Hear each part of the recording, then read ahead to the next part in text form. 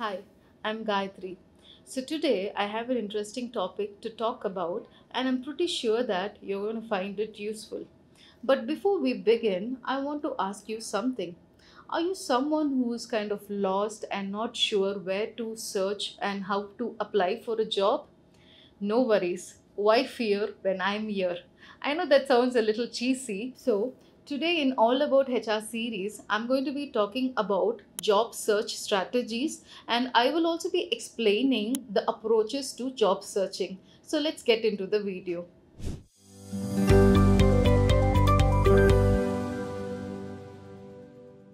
So now I'm going to give you quick tips on how to find an ideal job and then later we will see and discuss about the approaches to job searching. Tip 1 Self assessment. So what do you mean by self assessment?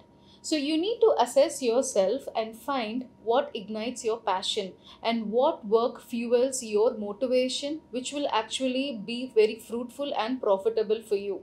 Now say for example your friend or your neighbor who has finished graduation just like you now they might be getting into IT or they might be getting into say a designing field. You shouldn't be influenced by them just because they are getting into that. I need to get into that. No check what exactly and where exactly your heart lies because that's what is going to be more fruitful for you tip 2 set clear goals you need to outline your personal aspirations and you need to have a structured strategy you might feel or you might think what I'm telling is something very cliche, but trust me, it is not. One needs to really have clear goals to land on a right job. Tip 3 Build a strong resume. Your resume needs to showcase your pertinent skills, experiences, and achievements. So, meticulously structure and personalize your resume. Tip 4 Network the moment I say network, don't go back into your computer networks or your network connectivity. I'm talking about networking with people. Building a network is very essential. It actually begins from school and it goes to your college and goes beyond your work. For example now imagine you are uh, studying and you know you're in your graduation. You have an opportunity to become a placement coordinator. Please don't just miss out of that opportunity thinking okay that's too much of workload for me because that is where the networking with hr begins. So don't miss out on all those small small opportunities and in your work also please go to other department people and try to have a good rapport with them where you can build your network and make it more bigger. Tip 5 develop your skills. You need to consistently enhance your expertise and understanding. So you need to explore more opportunities participate in workshop enroll in courses and also make sure that you get certifications that are verified. And also don't forget to brush on your soft skills as well.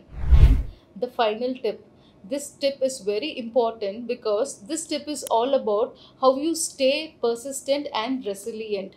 Because you know right applying for a job or searching for a job is no cakewalk. You have so many challenges. And of course definitely there are going to be moments of discouragements as well but again please don't give up and make sure that you try try again until you succeed so now let's talk about job searching strategies. In this, I'm going to tell you approaches to job searching. Now, there are four ways how you do this. The first is job boards, the second is networking, the third is job fairs, and the fourth is how to use social media platform as a leverage to apply for a job. So first let's talk about job boards. You might think, right, what is this new term? I'm talking about job board. Job board is nothing but a fancy name for job portals. So, what is a job portal or a job board? Basically, an employer will advertise the company's opening in a website. So, that is called a job portal or a job board. Networking. By expanding your professional network, you are opening yourself for more job opportunities. Say, for example, if you're working in a company, try to mingle with other department because a recent study at over 200 companies stated that 27% of their employees are from a referral program. Next, attending job fairs. So basically what is a job fair? It is also known as career fair or it is also known as career expo. so this is basically an recruitment event right or it is a recruiting event where you have potential employers and you have potential recruiters looking for potential employees for their firm so this gives a great opportunity to all job seekers because you don't have to keep walking into different companies, going to different locations. Make sure you're present at the right job fair and apply for the right job that you desire. And finally, leveraging through social media platform. Now tell me something isn't it very different from today or uh, say 10 years ago how one was actually searching for a job See, compare 10 years ago how a person was applying for a job. You have to look into the papers, you have to walk in, and you have to keep searching in the newspaper, you know, where opportunities are there or where openings are there. But today it is very easy. You can just sit under your roof and check out what kind of opening is there and in which company the opening is there through social media platform. And a classic example for this is LinkedIn and for anyone who is looking out for a job opportunity or for a new position, the first stop should be LinkedIn. All these social media platforms are very user friendly.